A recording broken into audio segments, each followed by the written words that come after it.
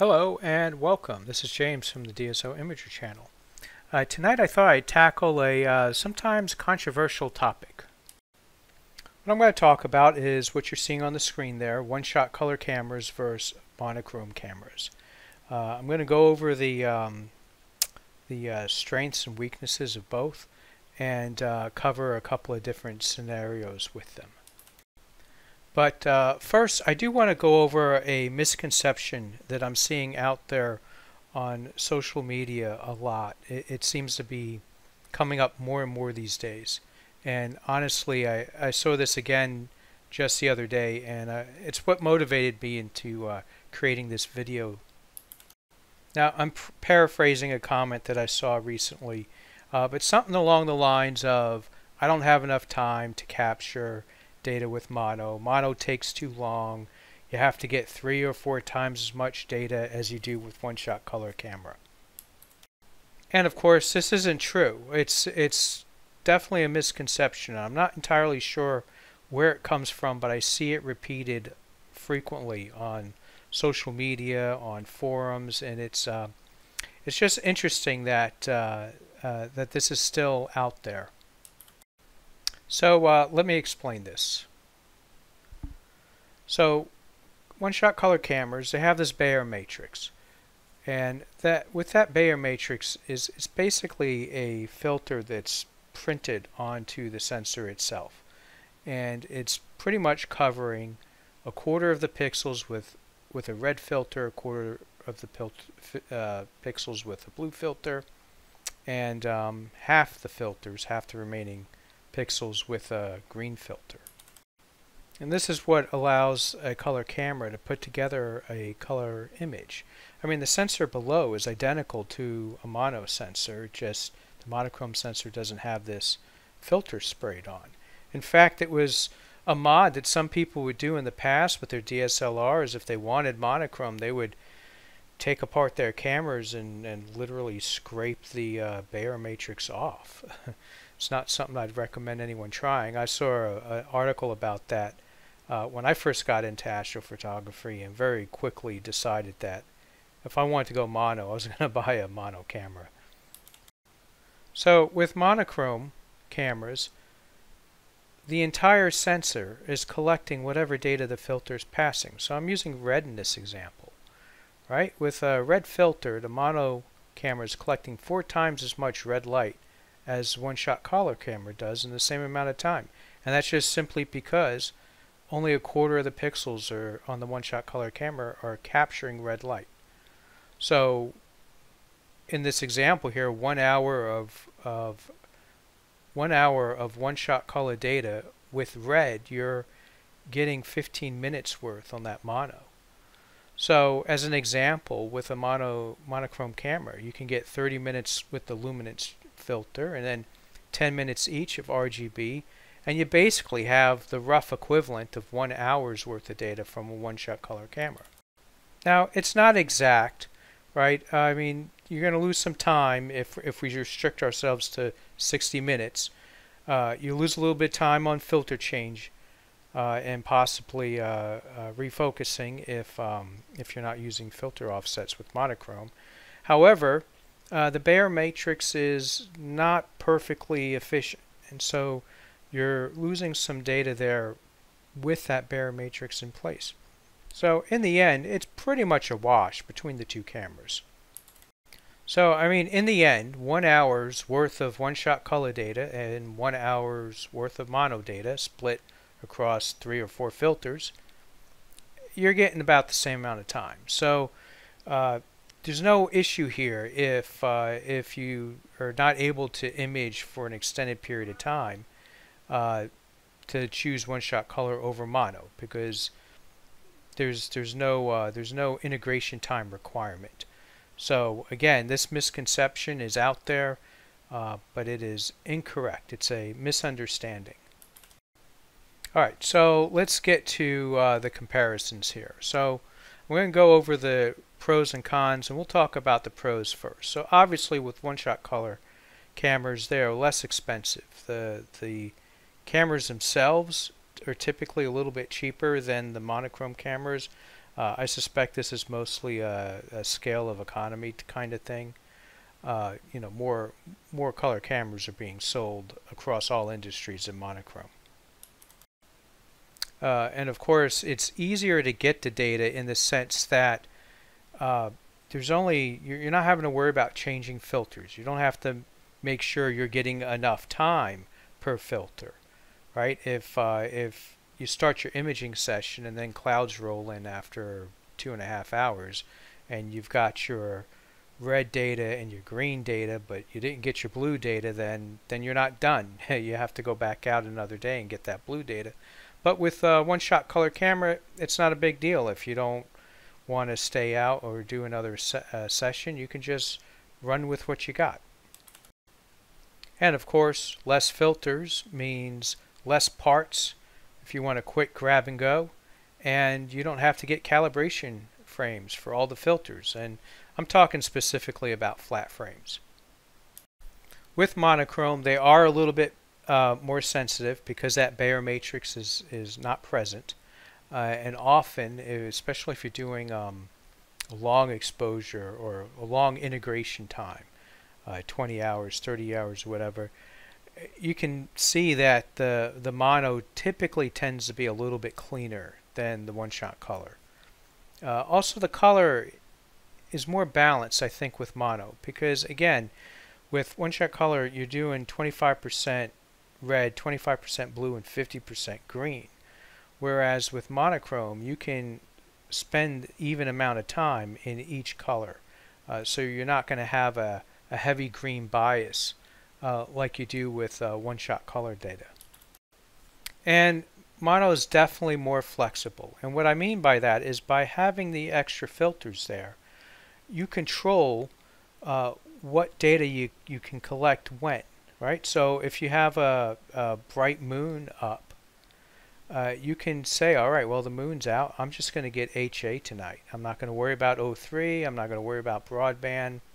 And it's not a problem. Whereas with one-shot color camera, you're really limited. I mean, you can get one of these dual narrowband filters, but uh, there there's still some limitations there. And I'll, I'll go into that in the uh, next slides. Alright, so let's go into some of the cons, right? So with one-shot color cameras, you're definitely limited when it comes to narrowband. Now, it's gotten better under certain circumstances, but in the example that I'm giving here is that uh, HA RGB images are, are really nice options to have when shooting astrophotography. Of course, you got your galaxy shots uh, with the HA regions, and there's a lot of um, uh, other shots out there where you have um, this uh, faint HA signal. It's part of the uh, uh, it's part of the interstellar medium that's out there that's not picked up at all, hardly at all, with one-shot color cameras. And you don't see it, of course, with broadband filters. Uh, but if you spend the time and get HA data, you can pull out all these interesting HA structures in the background in targets where people never thought there would be stuff, uh, there would be HA in there. Uh, and I'll, I'll have some examples later in this, uh, in this uh, presentation. Now you can use an HA filter with one-shot color camera or you can use a dual narrowband filter with one-shot color, uh, one-shot color camera. But if your main target is that HA data, then that HA data is only going to impact a quarter of the pixels. There's a little bit of spillage on the green pixels, but I mean, it's not much signal there. So you're only utilizing about a quarter of your sensor when trying to capture straight HA data. And so that is definitely going to hold you back if you're going for an HA RGB image. Now let's talk about dual narrowband filters for a moment. Uh, they came out not too long ago, and they really have been a great addition uh, for one-shot color cameras.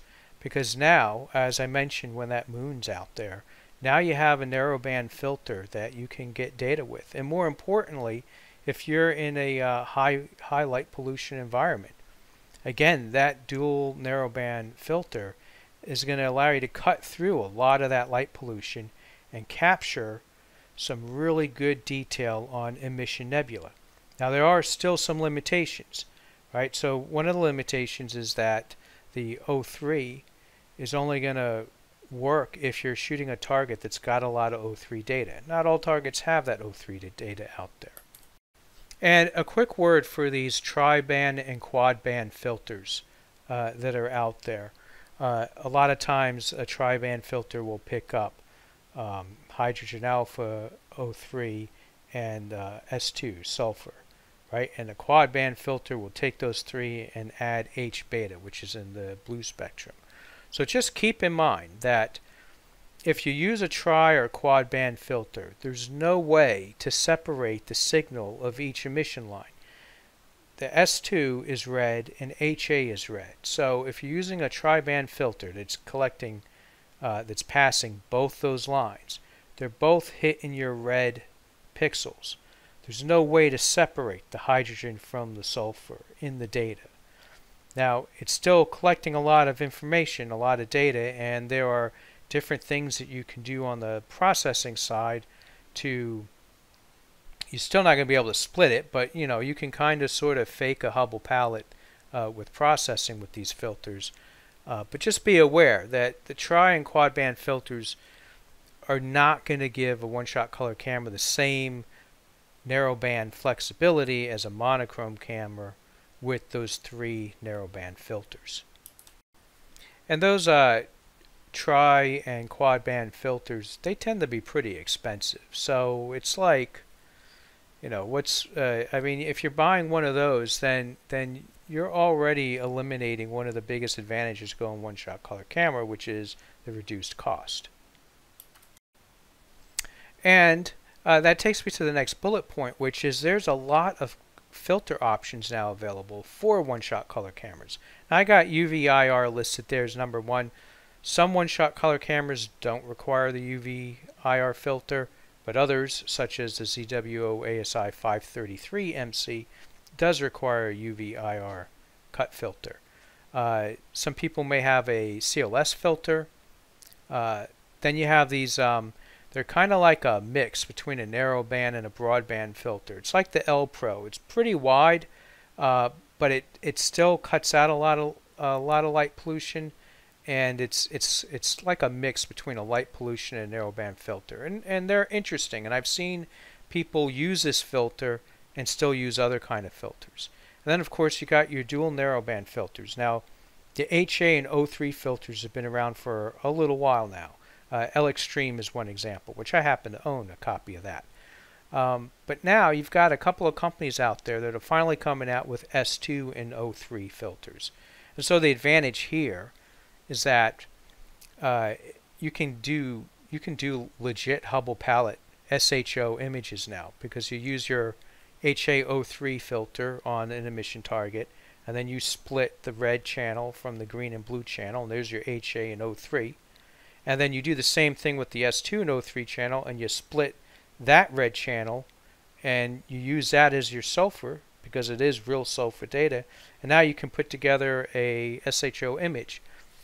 It's still not quite uh, as even as mono because again only a quarter of your pixels are being used for the HA and only a quarter of your pixels are being used for the S2. You're getting lots of O3 which can be really good on some targets but uh, your HA and S2 signal is still going to be weaker unless you, you know, compiled a ton of time on uh, integration time on these. And then you have uh, I, ha I, have filter wheel here, so I actually use a filter wheel with uh, with my one-shot color camera, but you got to think about it, especially if you're starting out and you're trying to decide which one to go with, and and now you're looking at the prospects of going one shot color camera and picking up one, two, three, four filters and considering a filter wheel, you know, the, the again the cost advantage is is quickly disappearing, and uh, you know maybe you should have gone mono in the first place. I think the biggest advantage of all these different filter choices now is that if you've already got the one-shot color camera and you don't quite want to jump into the mono side, at least these filters give you options, and they definitely work uh, well, and it definitely narrows the gap in flexibility and performance between one-shot color and mono. Now, speaking of cost, so with monochrome cameras, there's no way getting away from no way you're going to get away from uh, buying filters. You just have to, right? And just to do broadband, you got to get four filters, LRGB. Uh, thankfully, LRGB sets tend to not be too expensive, but this is still an added cost on top of the camera. And of course, you're going to have to buy a filter wheel. I mean, I guess you can get away with doing a um, a filter draw, and certainly certain systems like uh, like uh, for example, you're going to have to use the filter draw, I think. Uh, but the filter wheel just makes things way more convenient and way more consistent when doing flat frames. And so it's just it's more cost. And if you want to go full frame camera, I mean, holy cow, those those those uh, filters are very expensive. Now I've got more weather dependent as a con on mono, and what we mean here, and I'm sure everyone is aware of this problem. In fact, I suspect the anxiety of this happening is what drives a lot of people to choose one-shot color over mono. Uh, let's say you start your imaging session and the clouds roll in, right? Okay, well I got my red data and green data. I did not get my blue data. Oh no, now what? Well, you're not going to be able to put together a final image with the data that you that you've collected. You have to wait for another another time to go back and get that uh, blue data. So if you're in a scenario where you only get a few hours a night to image. Whether it's weather, I have it weather, whether it's weather or it's or some other uh, uh, reason that you just can't spend as much time imaging as you want to, um, then then this may be uh, a, a, reason to stick with one-shot color because this is definitely going to be a, a, challenge for some people. Uh, and also, there's definitely more work to be done on the mono side. It's basically because you have each individual filter. You need to get flat frames for every every filter, especially if you're running a, a, longer focal length scope. With my Edge, you absolutely need to get flat frames. I mean, with the 70 millimeter scope, I mean, you can kind of get away without it. I mean, it's still definitely better with it. Um, but yeah, you got to get those flat frames for every single filter. And then there's processing steps that you have to do. You got to crop each one. You got to register them if your program doesn't automatically register them. Uh, I find that when using PixInsight, I got to run dynamic background extraction on each RGB uh, before combining uh, to help with the gradients that I have in this environment. And of course, you're doing separate processing on the luminance channel. I'll run deconvolution on the luminance. So there's definitely more steps to do with mono before you assemble all the channel colors and start working on the on the color image. Now, as I may have mentioned before, I have both. Uh, I have two monochrome cameras and I have a one-shot color camera. And actually I lied. I have three monochrome cameras. So I started with monochrome. I went from DSLR straight to monochrome. And so just kind of to share my experience, uh, reiterating that mono is definitely, there's definitely more leg work with mono, uh, specifically with LRGB images. However, uh, when working with narrowband, uh, mono is actually easier than messing around with uh, dual dual narrowband uh, filters. There's no having to separate the colors or anything like that. Uh, with uh, monochrome and your SHO, it's very straightforward, and it's it's I find it easier to process that than than broadband data. Now I know in uh, PixInsight there's some new scripts out there that kind of auto uh, adjust the colors uh, to create a kind of uh, fake um, uh, SHO so that's gotten easier. I haven't experimented with any of that stuff, and I believe other uh, pro uh, programs out there do the same thing. I believe APP also uh, can create a Hubble-esque uh, type uh, color palette with dual band, narrow band, data, dual dual band data. Now, also doing LRGB versus one shot color, I have found that it's easier to get a good color calibration and good color balance with uh, with the mono data. It just seems to work easier. And perhaps that's related to the fact that uh, one-shot color data has a heavy green bias. Alright, so let's wrap this up. Which to choose? So my advice would be to go with one-shot color camera if costs are a factor, if uh, you have a limited uh, window for imaging, uh, it could be weather, it could be uh, obstructed views. Uh, when I started astrophotography, uh, my backyard was not an ideal place to do this, and I just had like a three, four hour window between my house and my neighbor's house and the trees and the street light. It, it, I just did not have a very good window. I could not image a single target all night long. Um, and also if you prefer a lighter workload. Now having worked with both of them, I will say that it is refreshing when I have my one-shot color camera out there and I'm planning the sequence. It's like, okay, well, don't have to worry about filters. I just got the one filter and put in the number of subs and just let it go. so it, is a little refreshing in that regard. It's refreshing not to have to take uh, uh, seven sets of flats for different uh, uh, different filters. So it is definitely a, a lighter workload uh, on the acquisition side and uh, and the pre-processing side. So I mean, if you know yourself, if you this is a hobby, it's supposed to be fun, Uh, and the moment a hobby starts to become work, it's not a hobby anymore. So if if the idea of working with mono feels like it might be too much work, it might kill the fun in the whole process, then definitely stick with or go with one shot color.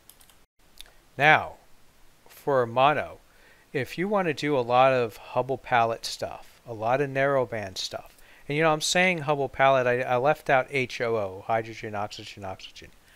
Uh, if you want to do a lot of emission nebula, mono really is the way to go because the the data that you get is so clean. And compared to the one-shot color camera, that HA signal, that is the most important signal when doing narrowband. It's the most abundant signal that's out there. And so only being able to utilize a quarter of your pixels, it's it's really um, uh, it's like tying one hand behind your back on, on gathering data. And the other thing is for folks that are in high light pollution environments, you know, you may really want to consider narrowband, especially uh, as uh, mono, especially when thinking about narrowband targets, because uh, Bortle 8, I was in a Bortle 7 slash 8, had street lights. Really, the the city put these brand new white LED street lights on the road behind me. They were very proud of these lights when they put them in, and uh, they were a killer. I mean, those lights were one of the main reasons I I moved a couple years after getting into this hobby. So, but but the HA filter cuts right through most of that, and and the amount of data that you can get on these emission targets is just amazing. If if you're starting out, and whether one-shot color camera or whatever, and you know how difficult it is with that light pollution, the first time you gather data with an HA filter, you're going to be blown away. Alright, so the next bullet, not bothered by spending multiple nights on a single target. So, I mean, really, this is about where you do your astrophotography. If you have are able to do it in your backyard or someplace that's close by, especially if you can leave your rig out all night while you sleep, and you can leave it out for multiple days, uh, then then monochrome's not a problem. It's not a big deal if you didn't get that blue data after clouds rolled in, because you're gonna be hitting that same target night after night anyway. Uh, and and I got here in in the brackets here. I wonder if this is where that misconception comes from, where you need more time with monochrome data because you know I can spend 50 hours on a target, no problem. I'm not I'm not chasing many targets. Uh, so maybe people see that monochrome camera. This guy spent 50 hours on M33. I can't do that. I need to go one-shot color camera. uh, if if you can't shoot in your backyard, uh, if you have to travel and set up, then yeah, one shot color makes a lot of sense because the the hassle of being able to have to go out multiple nights to different locations just to complete the data set could be a problem. But if you don't have to do that, if you don't have those constraints, uh, then then mono's mono's a viable option. Uh, and then the third bullet I have here, if you already know mono's an eventuality. So for me, as I mentioned, I went mono first uh, after I wet my uh, cut my teeth with uh, with a DSLR. And I knew that I was in. I was totally locked in on this hobby, and I was going to be doing this for a long time. So it really just didn't make a lot of sense to go and do a do a half step to one shot color, and then another step to get into mono. Mono was the eventuality because the flexibility with the narrowband was just too much for me to ignore. And as it turns out, emission targets are my favorite. They're my favorite targets in astrophotography. So I knew that it was going to be a little bit more complex with multiple filters, but I mean honestly, it's not. It's not that much. I I feel like for a lot of people, they it's it's uh, it, one of these issues. It's uh, perhaps exaggerated. Now I get it. Some people are not going to want to mess around with them, but at least for me, I knew I was going mono, and it just didn't make sense uh, to to grab a one-shot color camera. Now I did eventually buy a one-shot color camera. Uh, it was that 533 MC came out, and it was kind of like an impulsive move for me. I just I just wanted to see what what one-shot color was about, and I also figured that uh, if I were to do a grab and go type setup where I was just going to go someplace dark skies for one night, you know, I thought the one-shot color camera would be a, a nice option for that. And of course, if money is no real object, uh, and you're wanting to jump into uh, the premium stuff right away, then yeah, might as well go uh, go mono. Um, if if you're in it for the long haul and and you're not fazed by the cost of those filters, uh, then yeah, go for it. Alrighty, so kind of uh, final thoughts here. What about getting both? Right? That's always the best answer. Do I get this or that? Get both. Now, HARGB imaging uh, makes a very valid uh, case for potentially getting both. Now, HA-RGB imaging has been around for as long as astrophotography has been around. The most common uh, application of this is getting HA for your galaxy shots. Uh, but as I mentioned earlier, there's a lot of HA out there. And so this shot you see on the right, that's the Perseus uh, double cluster. And um, there's a lot of HA in that region. And the way this image started out is the moon was out uh, I was like in between targets. I wasn't sure what to do, and I was looking at at um, in Stellarium, and I was kind of looking at where the um, the Milky Way arms are at, and I got to thinking that I wonder, uh, given the location of that star cluster, I wonder if there's some uh, ISM out there, maybe some faint HA signals. So I just parked my telescope uh, in that area with the moon out and just gathered HA and after a few hours worth, I could definitely start to see some structure in there. I ended up getting like 20 hours worth of HA, all with the moon out. And uh, it turned out to make a really uh, a cool image. I mean, you know, star clusters tend to be the least popular images out there, but now if you can throw some HA structure in the background, uh, now you've got a very interesting looking picture here. Uh, and, and on the left is another example, uh, shot I took recently of the Cocoon Nebula, and there's a lot of faint HA in that area as well.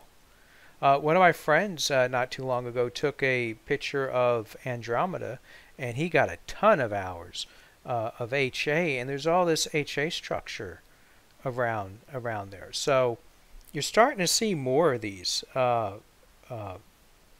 shots with uh, HA RGB shots. So the thing is, this HA in the in these uh, this background HA is extremely faint, and you need to get a lot of integration time. And if you try to do this with a one-shot color camera and say an L Extreme filter, and you split the red data off of the L Extreme data, I mean again you're only you're only using a quarter of your pixels, and so you know you're going to have to expose it, it, it, it becomes impractical, I think, to pick up some of this fainter stuff. So this is where a monochrome camera can step in.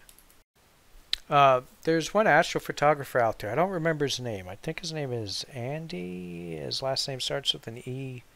Uh, he has what I think is one of the best uh, cocoon nebula shots I've ever seen. And he used the ASI 2400 MC on a uh, on a Takahashi Epsilon for the broadband data, and then he used a QHY 600, I think, uh, with an HA filter, and oh, the image looks fantastic.